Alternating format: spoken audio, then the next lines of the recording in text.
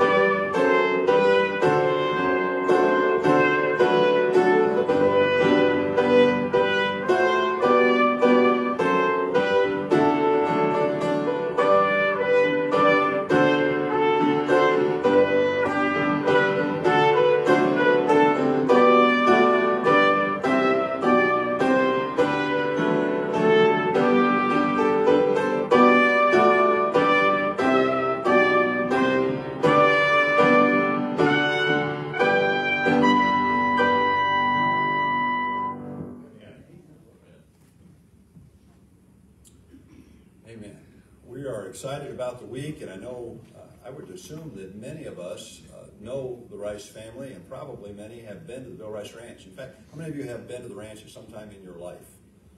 That's a large majority of us. Praise the Lord for that, right? We're grateful for the, the ministry of the ranch. Of course, we know it as the one in Murfreesboro. They also have a ministry out west, West Branch, and so uh, thankful for their faithfulness all these years. And Brother Wil is now the president of Bill Rice Ranch, leads the ministry uh, there, and uh, so we're we're thankful to have them uh, with us this week. His uh, preaching is always thought provoking and helpful, and I'm sure you're going to be challenged. Wasn't the Sunday school hour blessing today? Yeah, excellent. So we look forward to what the Lord has for us uh, this week. His wife is also a gifted singer, and so we'll be privileged to hear her sing several times uh, this week. And the first time is now. So, Miss Sina, if you'll make your way here, and then Brother Wil will preach when she's done.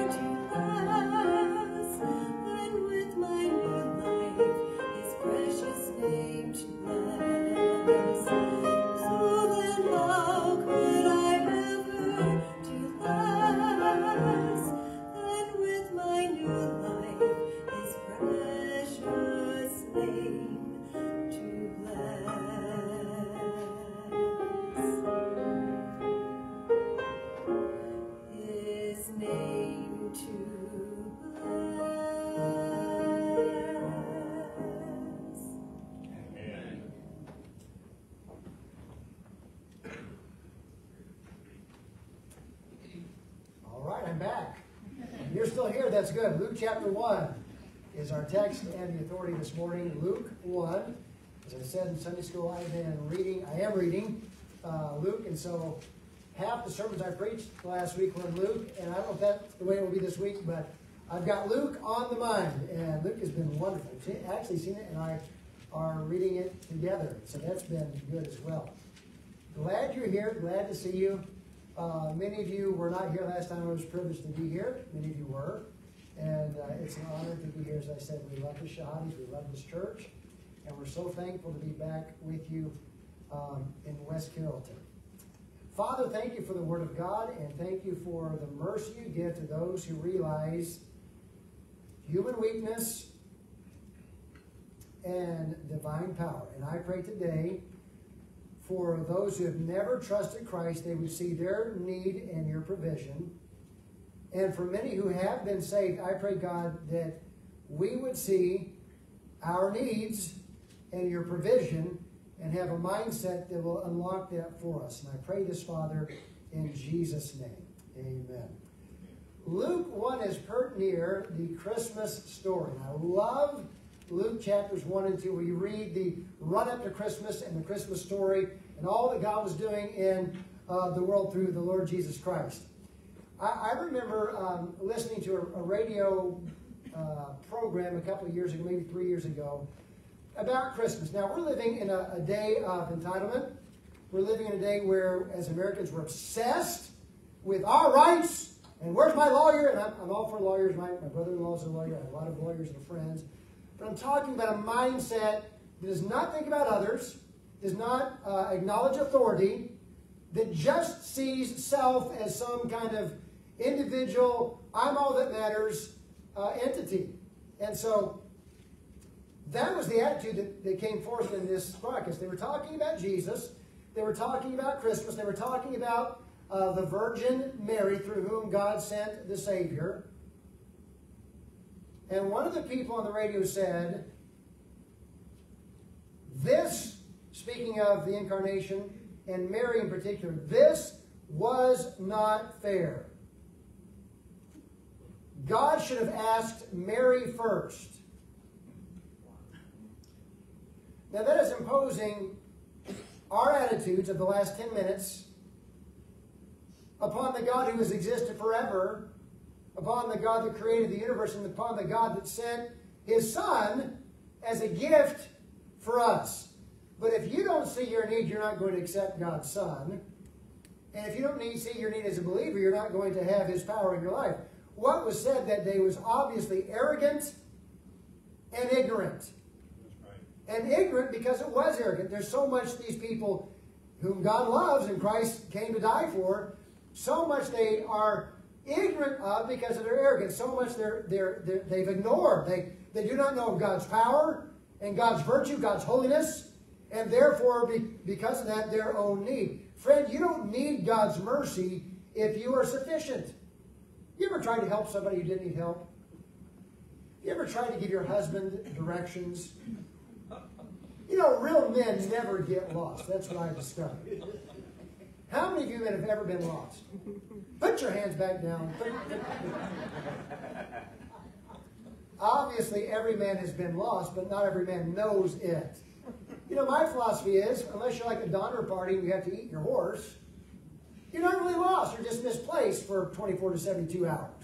You know, uh, but the fact of the matter is, if you don't, if you don't need help, then you don't see God's grace. You don't see God's strength. You will not receive God's mercy. You know, someone has said, you don't know how bad you are until you try very hard to be good.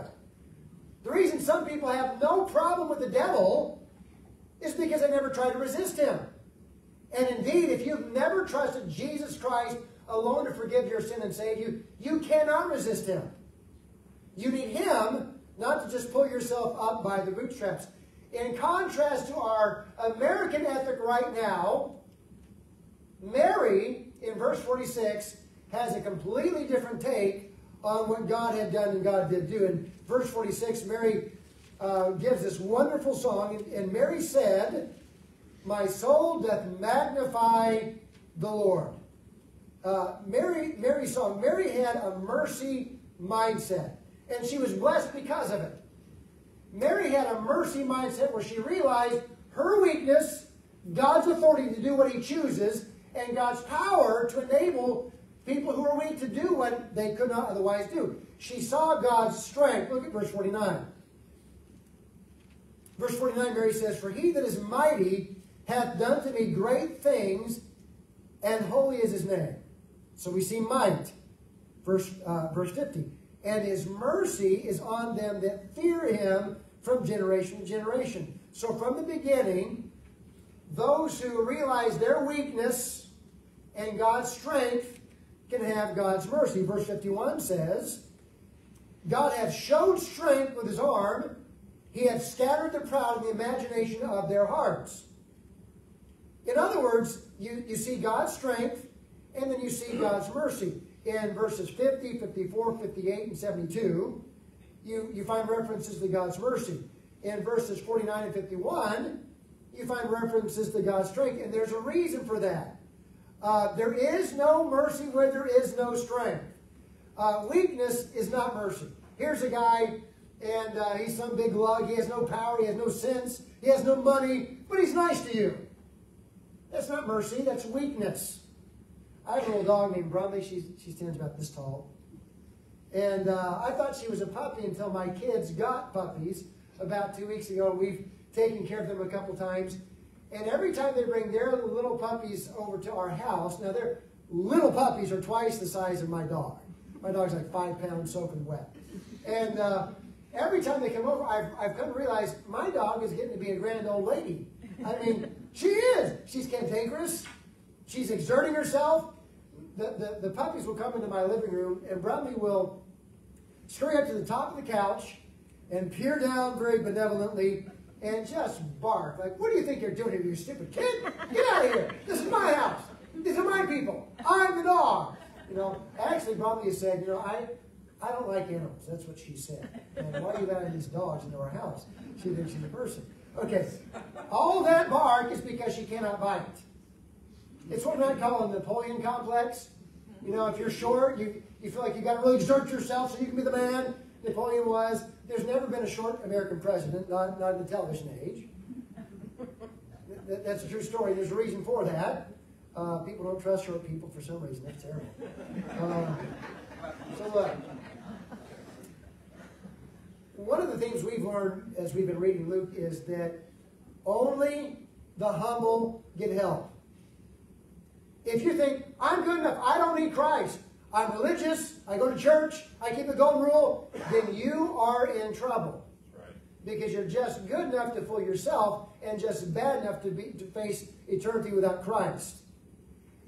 I'm talking to many believers. You've trusted Christ for salvation, but somehow you think you're all that in a bag of chips compared to other people. And so you go through life with a great deficit that can only be met when you realize, I'm not, He is. God is strong. I am not. I need mercy.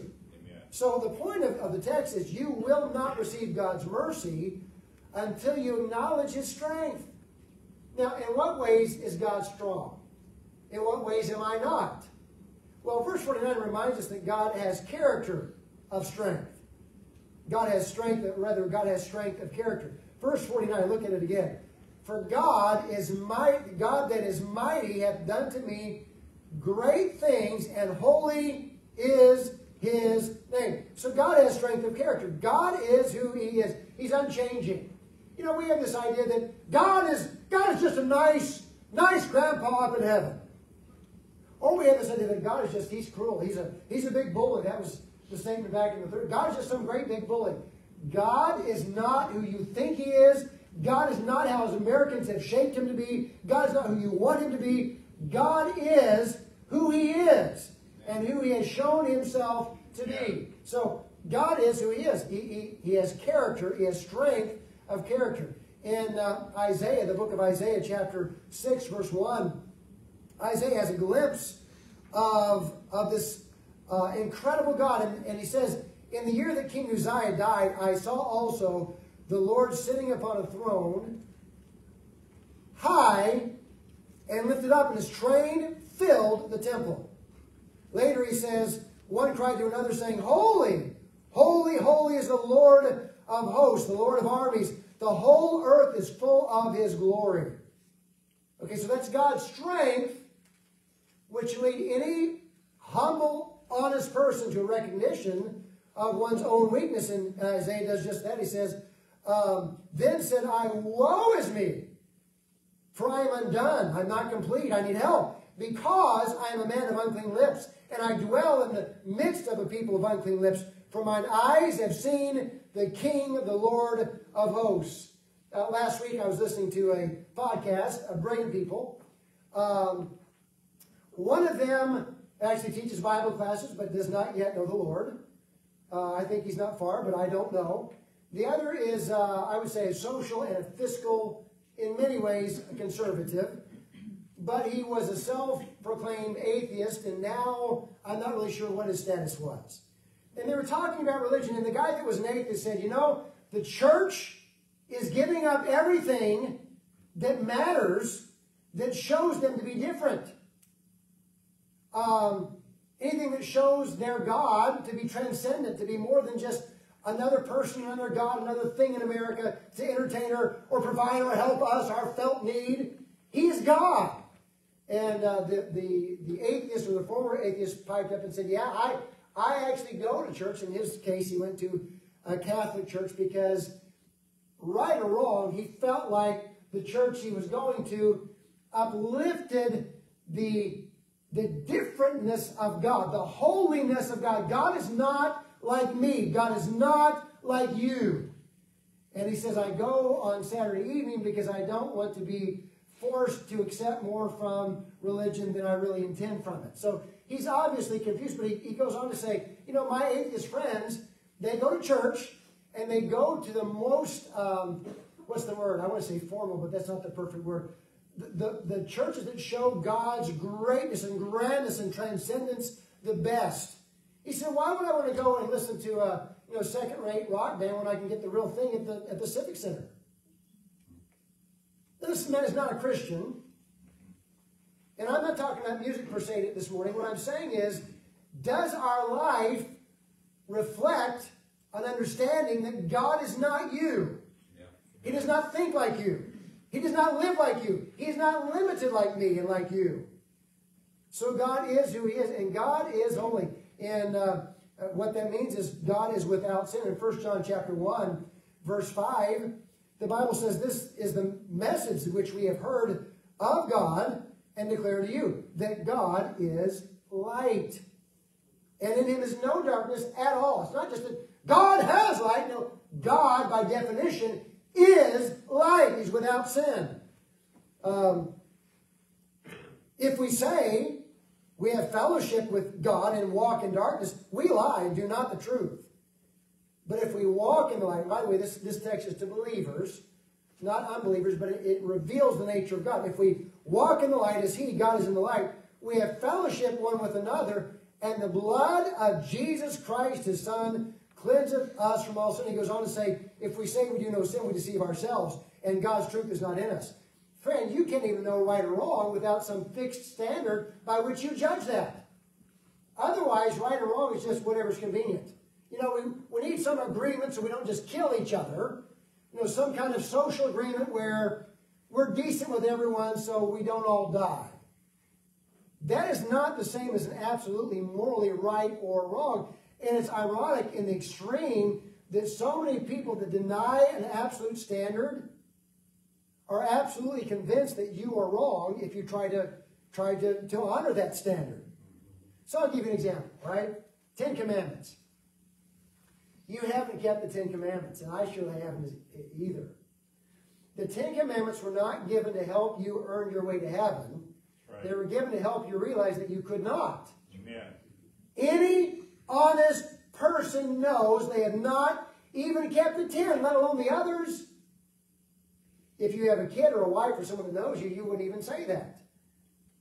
Um, and if I say, well, I'm doing the best I can, where in the Bible do you find that the best you can is good enough for God? That's right.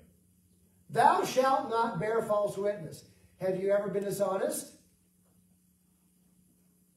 Um, thou shalt not take the name of the Lord thy God in vain.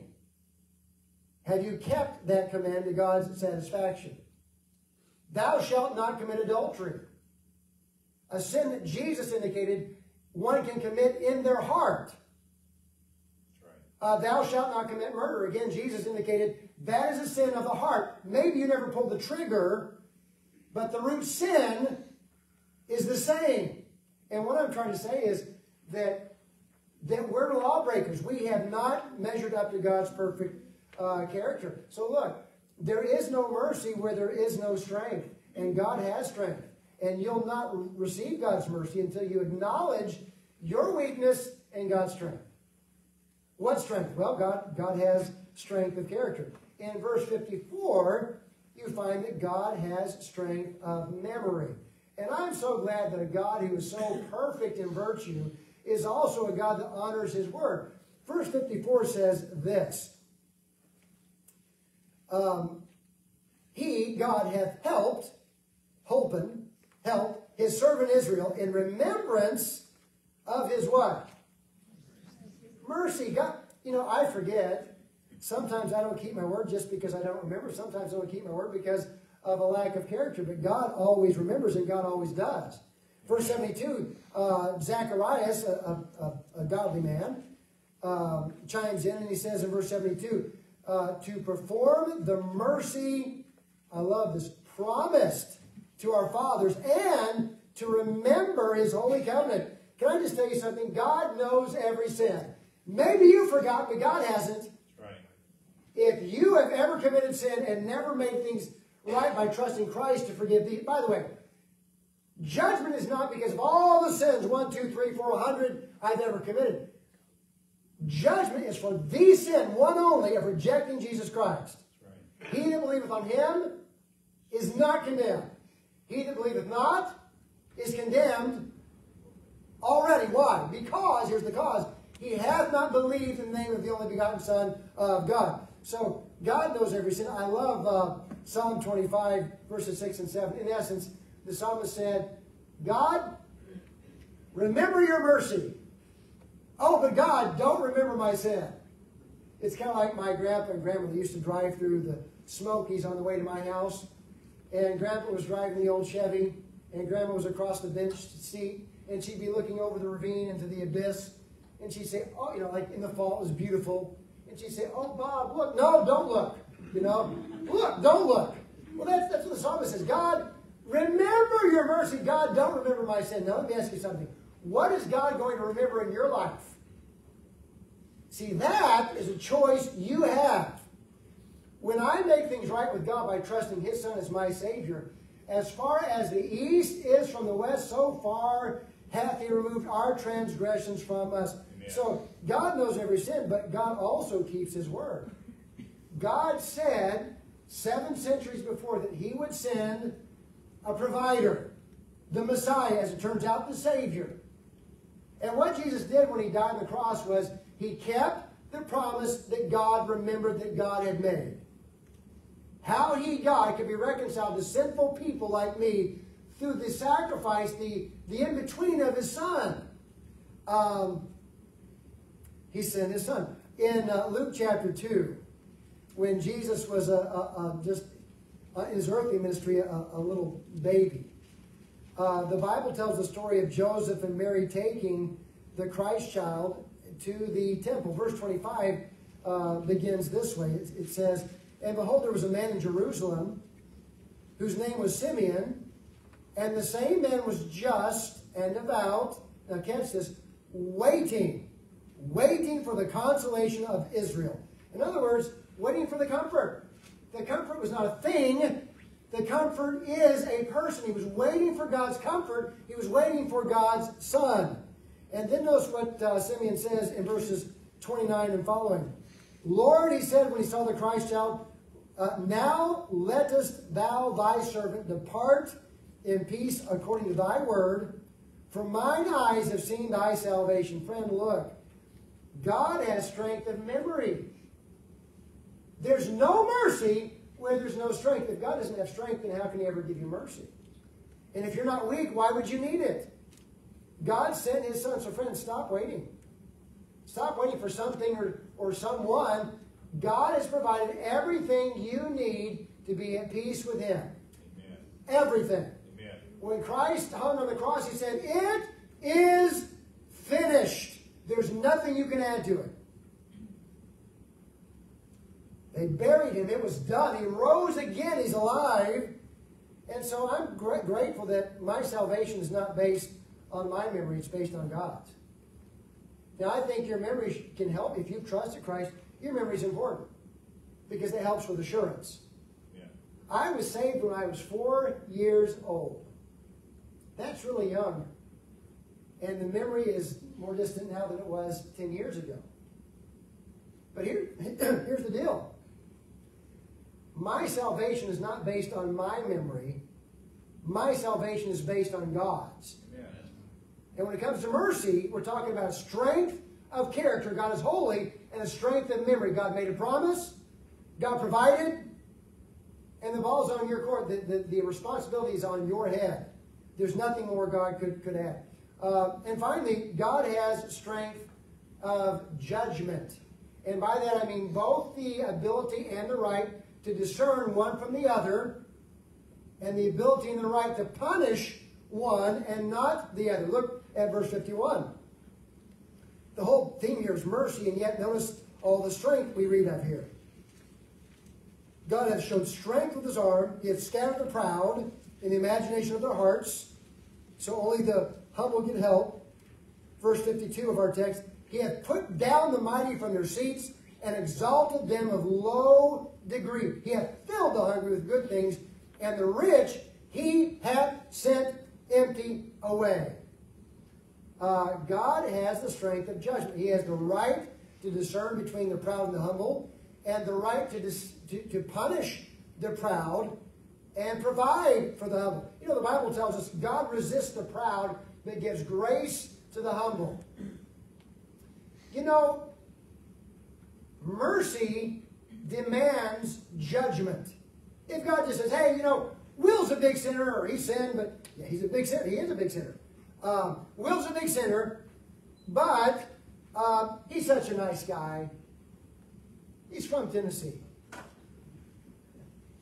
which is we're, we're already getting in the way I'm structuring this is our thoughts, not God's. He's from Tennessee. He's a nice guy. He's a preacher. Um, he means well. He didn't mean to do bad. okay. Well, that's not mercy. That's weakness of character.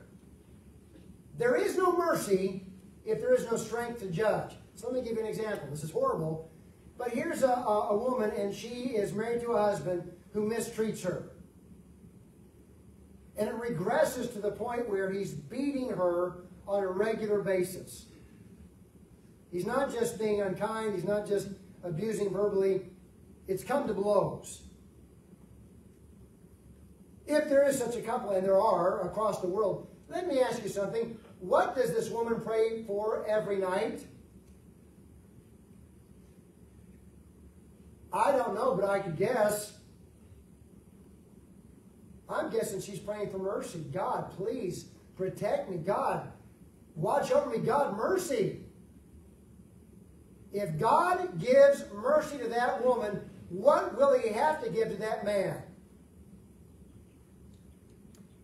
Judgment.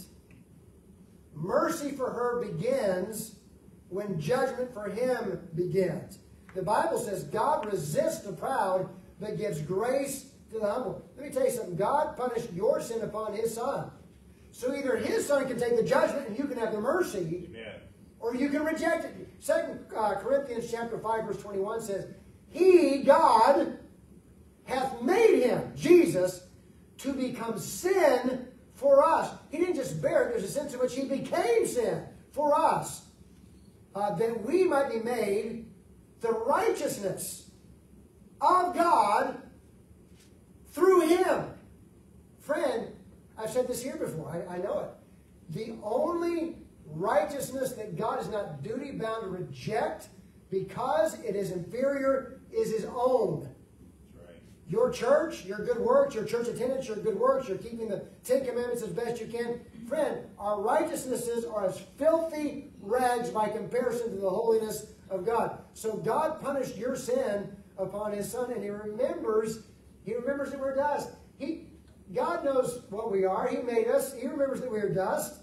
And he will remove our sin when we say, as that great sinner once did, God, be merciful to me, the sinner. Jesus said, I tell you, this man went down to his house justified. Not because he was good, but because he was honest. God doesn't save good sinners. God saves humble sinners. Which are you? Amen. On August 14, 1977, Elvis Presley was talking to his stepbrother, Billy Stanley. They'd been horsing around at Graceland in the mansion. Elvis, of course, was on top of the world. And all of a sudden, something happened that made him very pensive, that made Elvis Presley very thoughtful. And he looked at his, his much younger brother and he said, Billy, do you believe that God forgives us for all our sins? There was a conscience at work in this man. There was a recognition of need that was working in this man. And I know nothing about his soul or his eternity. I can just see his life. And I know this question because Billy mentioned this a week and a half ago. And Billy said, Yes, I, I believe God does forgive. And Elvis responded, I thought that's what you would say, but I just wanted to hear you say it. Let me ask you something. Do you believe God forgives our sins? And if so, upon what basis? Just because you want it? Just because God's a nice God? Just because he's too weak to do anything? Or is there something more at play here? Mercy based upon a decision we make about what we do with God's Son. Is there forgiveness? Yes, but only when we acknowledge our need and God's strength. And that strength is a person, and his name is Jesus. Now, in closing, let me say maybe you're thinking, well, Wil, I'm saved. Thank God I've, I've trusted Christ as my Savior. I realize that I'm a sinner. I deserve judgment. I can't save myself. Christ died and took my punishment, my penalty, and I have asked Him to forgive my sin and save me, and He has. And that's wonderful. But I wonder, are you living that way in your everyday life? With the thought, God, I can't, but you can.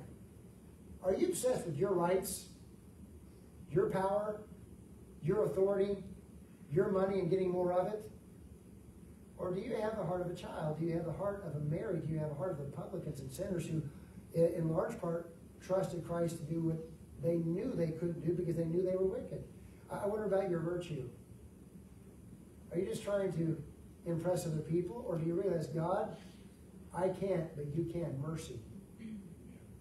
What about being a witness? You know what? Do you realize how many people are represented by the people in these, these chairs this morning who have never heard the gospel? People we know who know us but do not know the gospel? You say, well, I, I, I, I couldn't say anything. I, I don't know how to, I don't know how to be a witness. Well, that's the first step. I can't. The other step is he can. Amen. I can't, he can. He's strong. I am not. Mercy bridges the gap. Maybe you're going through some trial this morning. And you're trying to figure everything out on your own, and you're realizing perhaps that you can't figure everything out on your own.